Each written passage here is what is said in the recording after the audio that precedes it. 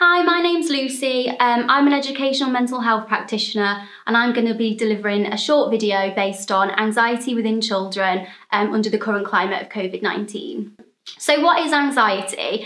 Anxiety is when um, you might worry lots about a particular thing and it can uh, make you feel quite overwhelmed and it might also give you um, a sense of panic, which isn't always that pleasant. So, children are going to be worried about very different things at different stages of their development. But overall, younger children tend to be more worried about ghosts and monsters and robbers and things like that. They find that really frightening. Um, and teenagers are more likely to be worried about social situations and friendships and relationships and, uh, you know, what people might think of them. Uh, schoolwork is also something that teenagers might um, be quite anxious about. Under the current climate of uh, COVID 19, there are also going to be added anxieties to that. So children might be worried about the virus itself.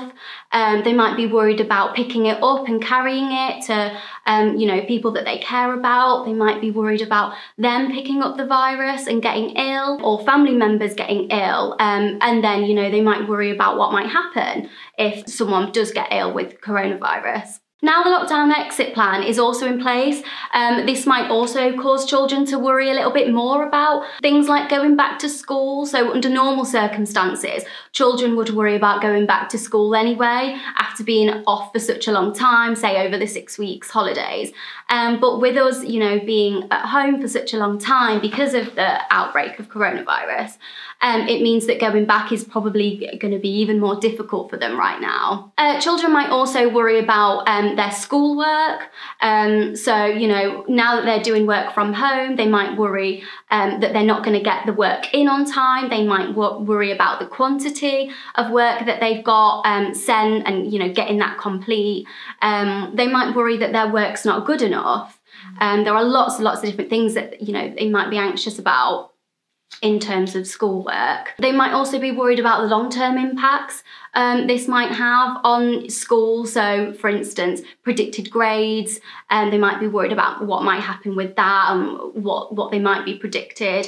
And um, they might be worried about even getting pushed back a year um, and things like that. Also, there are lots of difficulties that might be going on within the home. So, you know, there are people out of jobs um, and income can be a bit of an issue. And that can be really concerning for um, parents and, you know, everyone. So, um, children might pick up on those worries and also worry about that too.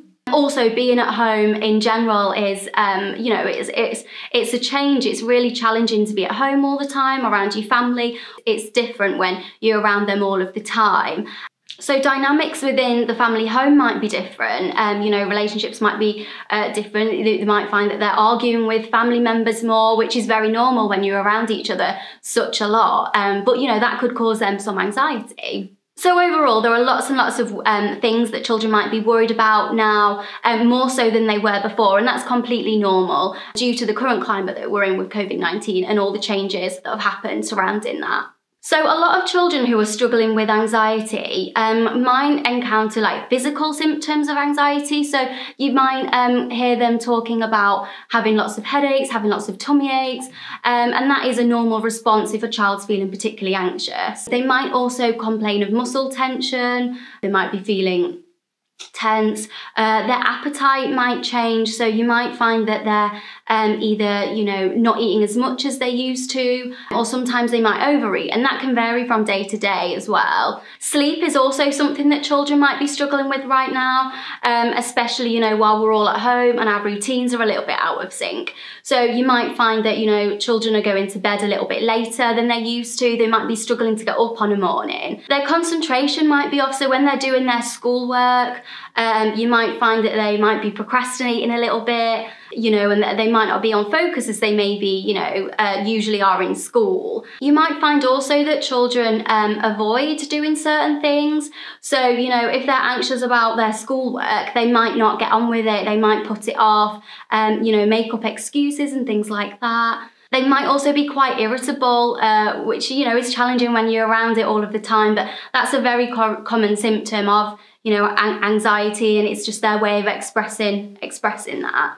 They might also be quite disobedient, um, and refuse to do certain things that you've asked. That's also an, another symptom that you might recognise. Reassurance seeking is something um, that you also might notice your child doing. So they might ask lots and lots of questions about something. Um, they might also um, talk about the same topics over and over again, um, which be a sign that they might be worried about that. All children differ and every single child is going to be slightly worried about, um, you know, about different things and they're going to communicate that in a different way as well. So what you might see in one child is not what you would see in another, um, which is extremely important to kind of recognize, especially if you've got more than one child. They might have, you know, completely different behaviors, um, but it might still come down to the fact that they are feeling quite anxious about everything at the moment. So now I thought we'd move on to a few top tips that might help you support your child with anxiety within the home at the moment. So one thing is kind of recognizing that certain conversations, um, you know, adult conversations might be best had, you know, when children out of earshot, maybe in bed, at the same time, it's really important to make sure that, you know, you do talk about um, COVID-19 to your child, especially, you know, if they're asking about it, but make sure that the information you're giving them is age appropriate. Also, it's probably important to point out that a lot of things, say on Facebook and on social media, might not be accurate. So trying to monitor that can be really helpful and giving them, you know, the, the facts. At the moment, routines might be a little bit out of sync, but it's really important to try and keep that on track as much as possible and create some sort of structure into their day. Um, this will also help prepare for going back to school as well.